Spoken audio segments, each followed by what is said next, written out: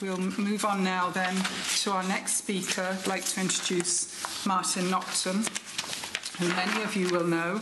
Um, I'm just trying to find Martin's biography now. Martin's well able to introduce himself, but Martin is a long term, long time disability advocate and campaigner.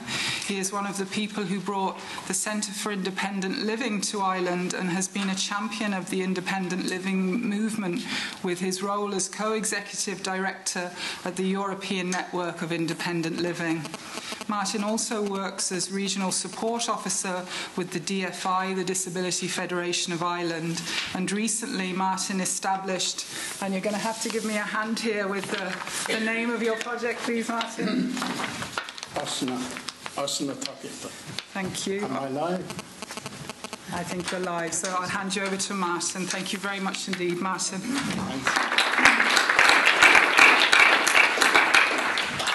Just move on. Okay. Sorry. One, two, three. Yeah. Yeah. Yeah. Okay. Thank you. Just move to the next one. Yeah. Um, this uh, I, I'm supposed to talk about peer innovation and peer activities and things like that. So. Um, basically, I'm just going to give you a short story about how some some people, including myself, back about 25, 30 years ago, we were we were trying to get into the right institution, to the right place to live out our days, kind of thing. And one of the difficulties was was big long queues; you couldn't get in, right?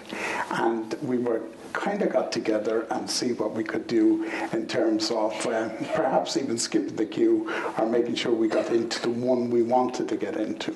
So we came together, we talked about it, and the more we got together and talked about things generally, we realized that none of us wanted to go back into an institution or to go into an institution. That what we wanted to do was actually live life just like everybody else and with that, we, we started to look at things differently and we pushed to develop an independent living philosophy, our practice in Ireland, and an approach. And hence came the Centres for Independent Living. Very exciting time for us in our lives, etc. It was great. Uh, we started to change everything we moved away. We were no longer in a queue, dependent, etc. We we grew in ourselves, our self-esteem, our expectations went went up nearly as high as everybody else's. Right. So we had a very, simple approach, very, which is the philosophy, uh, practice. Nothing about us without us. We had big difficulties though we had to roll back the dependency that had gotten a hold of us right? And we had to learn to actually, if you wanted something to happen, it was up to us. We were the people that wanted to, needed to make things happen and make a change. And there was lots of people, whether current day GENIO or whatever uh, department, etc., want to help. But we, it was up to us to, to build that picture. So after about five years or so, we uh, we started renting houses. We started all those of kind of things. Our key things was uh, try and sort out mobility, transport, that kind of thing. What we did there was we developed an, uh, an organisation called Fantastic. It's still going on, on today, etc. It was to be a door-to-door door-to-door service for ourselves because we couldn't get a taxi, we couldn't get on a bus. We didn't stop there though. We made sure that we uh, held the CIE's feet to the fire and we made sure that we got accessible transport. It's been a long time coming, it's still slow, but the interesting thing about it is back in 1993, since we're all talking about 1993, there was uh, Dublin Bus had a funding from Europe uh, to provide accessible transport. So they provided the accessible transport just around the city. Uh, so nobody could get to it or get home from it. And the evidence then was at the end of the day was there was no need for it, right? These people didn't need this kind of transport. They'd be better off in ambulances and things like that. So we put we fought back a little bit, and we reminded the Department of Social and Family Affairs, Social Welfare at the time, that actually they were paying they were paying Dublin Bus to behave badly. And we said, we're going to take it out on you, Mr. Department of Social Welfare. And at the time, we'd, we'd a reasonably good access in there, so we put the heat on them. They put the heat on Dublin Bus to sit down and talk to us and sort it out. And after that, we went, we went to parts of Europe and said, uh-uh, we're going to block your money, etc. So yes, now today, not alone in Dublin are people using the buses, but we're out saying, why is there only one accessible spot on the bus? Right? Because if two or three people want to go out together, they have to take the next book, the next book, etc. And so we're putting the heat on again, and we're saying, and we're reminding the transport group today, actually, how much money do you really get from government? How much of our money do you get? And it's quite a sizable amount when you look at it. And we're saying, so you're paying for bad services you're paying for services that don't, don't include all of us. So, anyway, that's how we grew. We had PA services very quickly by 1993 and uh, all of that. And we did, we did all right. We had a nice little section, CILs. There was about 25 at this stage, very quickly, because we were in charge and we wanted, we knew what we needed. Actually, and guess what? We discovered some very big differences, right? Everybody else was busy trying to decide what we need. As for we simply approached it and said, what about what is it we want? Right? But even today, and I look at the evaluations and things like that, and so much effort is going into it, right? Um, about measurements of what people need. How about just simply finding out what people want? right? And everybody is happier. It's much cheaper, and it gets it gets the job done much better.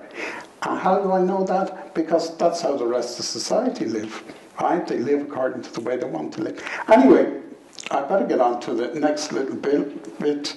Um, this project, Áiseanna Tacaíochta, that was a very deliberate name, Áiseanna It's to make people say, what? Right? And it does do that. And the number of people that apologize for not being able to pronounce it and all of that, so they can't just run away, then they have to find out a little bit more. So, anyway, the, the name simply means supported facilities. And we moved on to this about two years ago, really. And we moved on because there's a number of things, right? While as we were going well with PA services, etc., what was starting to happen, particularly over the last five, eight years, is, is that a whole lot of new rules were coming in, corporate rules for us as individuals. We had corporate policies when it came to health and safety, Garda vetting, oh, everything, right? Whether my house whether my home is a working place or whether it's my home, etc. And all of those different things made things made life extraordinarily complicated. And the bigger you were as an organization, and I'm sure some of you who run organizations will understand all of these kind of things, and so forth. And I understood. And we were saying to some of the organizations, actually, yeah, we do understand. We understand good governance, etc. But you're governing something that we don't need and we don't want. So that's why we've kind of set up our own Áiseanna Tacaíochta. Uh, it was established in October uh, 2010 with development funding from Genio. There's four or five participants at the moment and a lot more trying to get on, but we have to prove that we're worth it for the moment. Um, all participants had some experience in running their own PA services. Well, just next one there. Okay, and this is um, this is the type of model that is. It's very simple. There's nothing complicated about it. It's a little bit of almost everything that people said about today, right? We want to first of all empower ourselves, own my own company. I'm in charge of my own finances. I'm prepared to take on all the HR issues, to do all those different things. And guess what? I'm prepared to take help and receive and accept help from people who have expertise to give you that help, right? And finally, anyway, the next thing, and we do that through a circle of support, and then we have a net, uh, we become part of a network, and that's the Ocean Attack. So we're running, in some cases, individual companies, but also we are running, uh, some people can come in as sole traders, etc. The reason we went for individual companies limited by guarantee is it gives protection to people who want to come on board and support us and be part of our governance and help us through this early stage at least. So that's that's what we're doing. People are liking it, and maybe next one. Um, people are liking it. You know what's happened everywhere else. We're not doing anything new. We're just doing what disabled people all over the world are doing. Simple as that, when they get the choice to do it. And then finally, we just, next one again, Latin. I think we, we're now collaborating with some of the actually the uh, ferry service providers that we're running away from in one way. And we're actually saying to them, look, we have an experience, you can afford to pay for it. We're going to bring you a distance. We're going to bring you into this whole new thing, whole new world, and we'll be partners with you all the way through. So that's where we're at really at the moment. And thank you very much for listening. Um, it means something to us. I don't know what it means to everybody else, and uh, so forth. Thank you.